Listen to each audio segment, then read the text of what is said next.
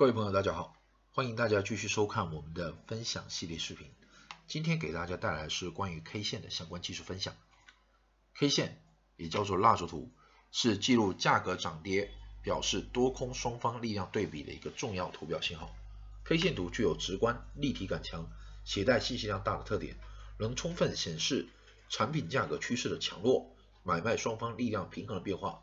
通过对 K 线的分析，我们能够发现市场当前处于什么样的趋势当中，同时可以由此衍生推导当前市场的活跃程度，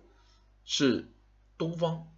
亚洲这边技术研究中最基础、最常用、使用最广泛的技术指标之一。那么 K 线的起源最早可以追溯到三百多年前的日本德川幕府时代，是当时的大米商人用来记录。当时米价涨跌而发明的图形，目前公认的最开始把 K 线走势归纳起来的人是当时的大商人本间忠久。因为日本的本间忠久，他当时是出生在位于上川河口的九田港与地区，也就是现在的山形县九田市，是17世纪稻米的重要产地及商业交易中心，因此 K 线在日本也被称为九田线。本间忠久将其一生的研究著作成书，名为《三元金泉录》，也被称为《本间中九翁秘录》。后人将它于实战交易中的精髓绘制成了一百多种 K 线组合形态，按其出生地三形县九田市命名为九田战法。相信很多朋友在刚开始学习 K 线时，应该都有被推荐过这两本书，一本叫《日本蜡烛图技术》，一本叫《九田战法》。其中的九田阵法这个词其实就出自这里。那么我们可以来看看 K 线是如何绘制而成的。K 线根据某个时间周期内的走势，分成四个价位绘制而成。这四个价格分别是开盘价、收盘价、最低价、最高价。其中开盘和收盘指的是 K 线周期内最初始以及最后的价格。而最高最低则代表了价格在这个时间周期内曾经到过的极值、最大值跟最小值，由这四个价格连接绘制而成的图形便称为 K 线。因为看起来就像是蜡烛一样，所以也被称为蜡烛图。K 线又分为阳线和阴线，其中我们把时间周期结束后价格最终上涨，也即是收盘价高于开盘价的线，称为阳线，意味着最终结果是上涨。把整个时间周期结束后最终下跌，也就是收盘价低于开盘价的线，就称为阴线。国内一般是用红色代表阳线，绿色代表阴线，但是其实并没有固定的要求和限制。比如欧美那边，它一般就跟我们相反，他们绿色代表阳线，因为他们觉得绿色代表生机勃勃，呃，红色反而是警戒信号，代表阴线。那么平时大家使用的时候，可以根据自己的喜好去进行调整。实际上用什么颜色都可以。根据结构，K 线又可以具体分为三部分：实体、上影线和下影线。这三个部分所代表的含义不同，实际上不同的 K 线便是这三部分之间的不同组合所构成的。那么在这三部分中，其中实体是最重要的。实体是 K 线的主体，是开盘价跟收盘价的区间，它的意义非同一般。K 线的实体的长度、颜色都是用来反映相应周期市场强度的首要元素。实体部分之所以重要，原因就在于实体包含了开盘价和收盘价，是价格运动的最主要、最主体的部分。就多空来说，开盘价跟收盘价之间的位置，对后市多空争夺有非常强烈的指向作用。市场投资者的情绪往往会因此而出现剧烈的波动。K 线中实体部分越大，往往说明力道越大，多空双方实力相差越是特殊。阳线实体长，代表在相应的时间周期内的多空争夺中，多方占据绝对主动；阴线实体长，则代表在相应的时间周期内多空争夺中，空方占据绝对主动。那么除了实体之外，影线同样是组成 K 线的非常重要的一个部分。影线是除了实体之外，K 线的另外部分，也是多空曾经有过争夺和攻守的价格区域。影线同样携带了非常大量的市场信息，是我们在分析时实体线的一个非常重要的辅助。因此，在进行市场分析时，影线的长度、位置都极其重要。其中，上影线一般是最高价和开盘价或者收盘价之间的连线，它代表的是卖方的力量。上影线越长，往往表明上方的抛盘越多，压力越强，意味着多方力量无法攻破上方。下影线则刚好相反，它一般是最低价和开盘价或者收盘价之间的连线。下影线对市场具有重要的支撑作用，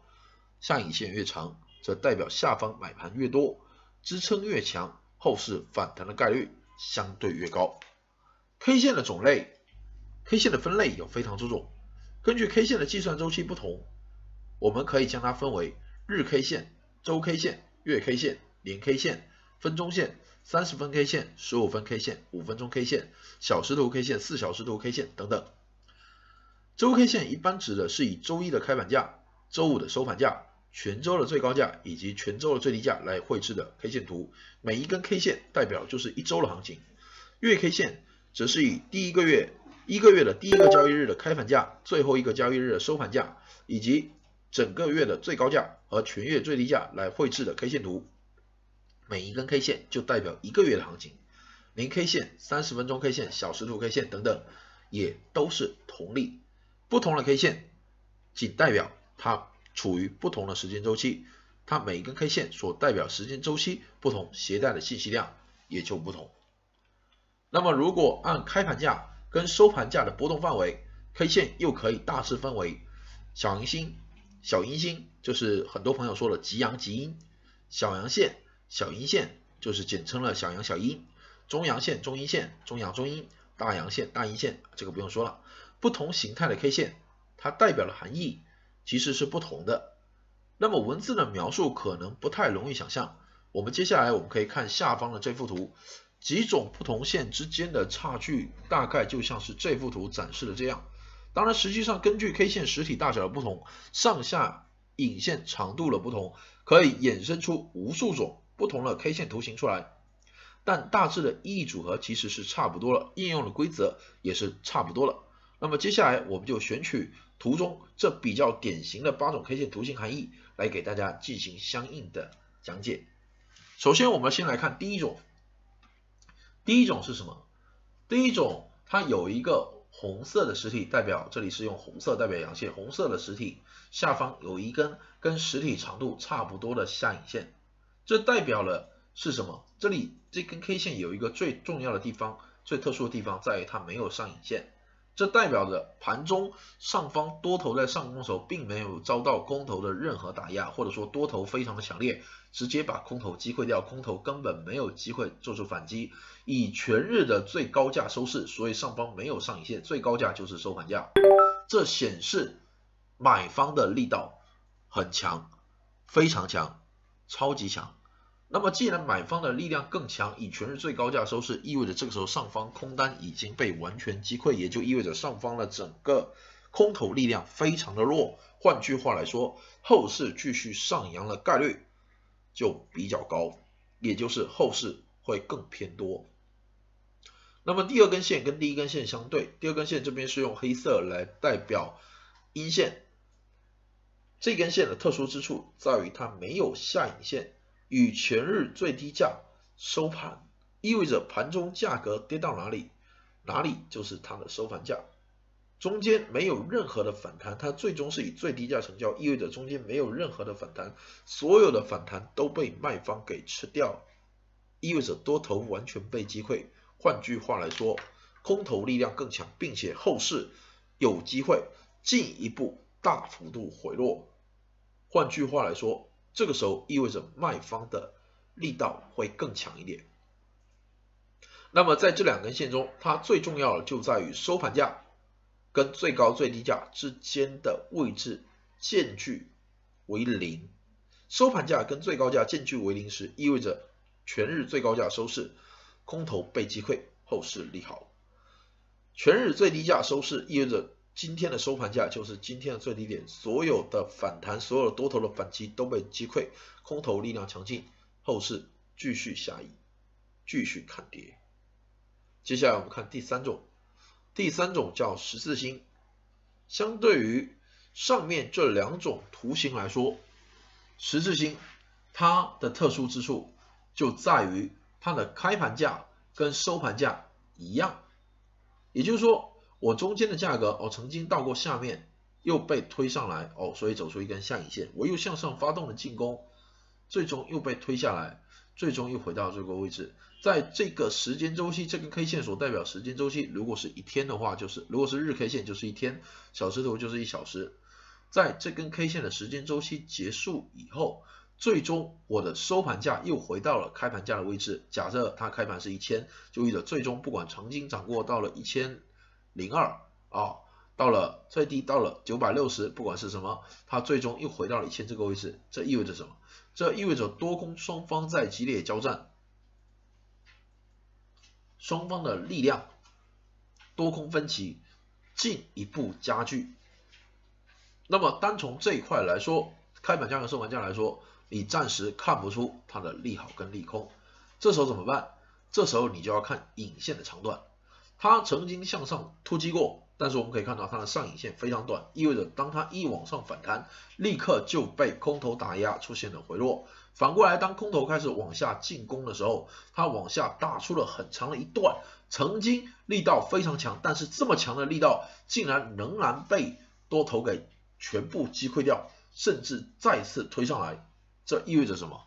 这意味着下方的买盘非常的强劲。正如我们上面所说。有实体的时候，我们先看实体，实体越长，意味着双方的分歧力量差距就越悬殊。当实体没有的时候，像这根十字星实体没有的时候，收盘价跟开盘价一致，它的实体幅度是零，这时候怎么办？看影线长短。这根线，这根十字星同样是一根十字星，这根十字星的下影线非常长，意味着下方的买盘非常强，曾经价格跌下去很深，但是全部被推回来。这意味着下方的买盘依然强劲，并且买的人非常多，导致的结果就是后市继续上涨的概率将会非常的巨大。接下来我们看第四根线，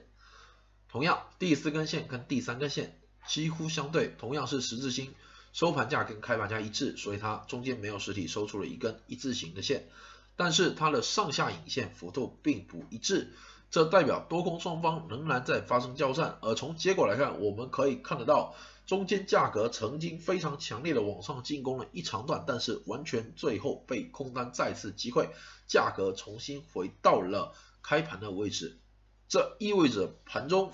这意味着盘中多头曾经想发动过总攻，结果被空头给击溃了。相对来说，多头的力量。趋向于用尽以后，或者说给市场解读出这种相当于用尽了的信号之后，后市认为价格进一步下行的概率就会更高。那么回到我们之前所讲的影线的解读，我们就可以看得到，上影线越长，代表上方的抛盘力量越强，也就意味着后市的概率继续下跌的概率也就越大。再看第五种，第五种其实是三四两种图形的一种特殊图形。一价到底什么意思？收盘价就等于开盘价，中间既没有向上进攻，也没有向下试探，所有的价格这个时间周期内所有的价格都是同一个价格，不管是开盘价还是低还是收盘价最高点还是最低点，完全一致。后市涨势不明。当然有一个特殊市场，那就是中国的 A 股市场是会受到涨跌幅所限。那么这个时候则显示买方涨停或是卖方跌停是压倒性的胜利，但请注意，这个只在中国特殊的 A 股市场成立，实际上在绝大多数没有涨跌停限制的市场，它仅仅代表当前多空分歧强烈，并且市场极度不活跃，后市走势不明。这个时候往往应该以观望为主，如果你有持仓的话，最好是适当的抛盘减仓，以减少风险，并且锁定利润。好，接下来我们看第六种，